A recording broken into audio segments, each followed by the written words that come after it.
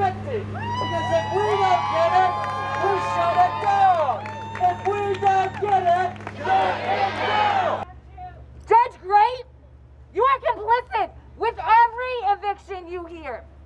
You are making people homeless during a pandemic. You are killing people. It doesn't have to be this way. You have a choice. End evictions or people die.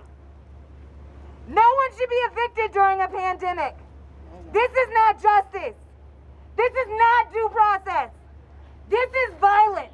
So at the courthouse, we had a blockade of the court entrance where the landlords and the lawyers have been going in to evict tenants for the last several months.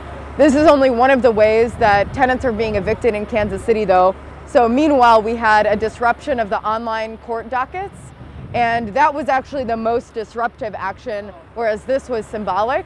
We had folks chained to the doors to shut down eviction court and our message is that every eviction is an act of violence and by Judge Byrne and the rest of the judges on this docket allowing for evictions to occur even during a national eviction moratorium, they're actually sentencing some tenants to death. We know that there are tenants who have already been forced out of their homes and onto the streets who have gotten sick or will get sick from the coronavirus as cases continue to spike. And the CDC nationally has said that ending evictions is a matter of public health urgency. So we were here to shut things down in person and meanwhile we had about 50 people on the phones all morning and we have people ready to go all afternoon to make sure that every single eviction docket is closed for the day.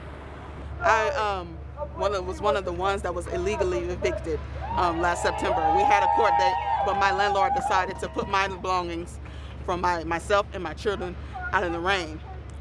Um, when our court date happened, because of the things that she did, it was dismissed with prejudice. Then on that same date that our case was dismissed with prejudice, she came back down here, filed another eviction under her mother's name. It tears me apart to know because everyone don't everyone doesn't have the accessibility to do online online hearings. Everyone isn't tech savvy. Everyone doesn't have a laptop. Everyone doesn't have a cell phone. And you mean to tell me evictions can still happen when it doesn't, when they don't have these accessibilities? And the and the courts don't even give that accessibilities in the middle of a pandemic? That's why I'm here. I'm here to use my voice to let you know that everyone know that the court system is not giving accessibility and they are using their power to kill people. My baby girl turned one years old today. Today's her birthday. We should be planning birthday parties. We, our children play together. We should be planning our birthday parties. But at the same time, I can't plan, me and my friend, we can't plan birthday parties because if we don't have a house, where are our kids gonna, where are our kids gonna stay? Where are they gonna play?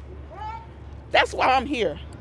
I'm here for my children, here for my family. I'm here for my community. How can I live a life if I don't have a life to live in? We'll be back! We'll be back! Well, you heard the last chant, we'll be back, right? I think uh, our folks are crystal clear that if we don't get the justice that we need through the powers that be, uh, we're going to take it ourselves. We like to channel the chant. If we don't get it, shut it down. And that's what we have done today, both in person and online and we will definitely back be back to continue doing that. Our perspective is like our hotline is running every day and we're getting dozens of calls from tenants who are facing eviction who haven't had work in months and have nowhere to go and are living out of their cars. We had people come up and approach us today who were evicted months ago and saw us and felt for the first time in months like they weren't alone.